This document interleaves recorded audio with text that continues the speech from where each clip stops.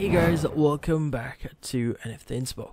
For today's video, we are going to show you or discuss with you how to add vanilla gift card to Google Pay.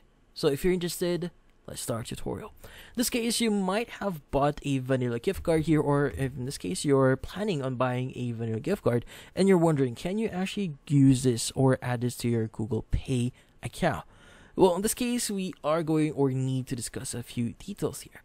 So we all know that a v- Visa Vanilla gift card is a debit card. So meaning it is actually labeled as a debit or Visa card. But the thing here is it's actually labeled as a prepaid card. So meaning adding this into your Google Pay account is not allowed or they do not accept that, which is really unfortunate.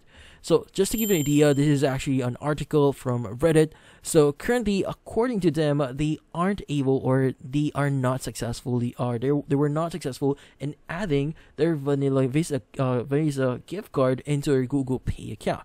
So it looks like it is no longer supported, but before it was supported, but right now it is no longer supported. So due to it being labeled as a prepaid card, which in this case Google Pay does not accept to be at, or they do not accept that to as a some a something that can be connected into your account. So an alternative that you could do here is you could just basically use it directly to online shopping. So, for example, maybe you could use this on Uber Eats or even in Uber. You could use this in Amazon. So, any other other platform out there that you could use or pay online.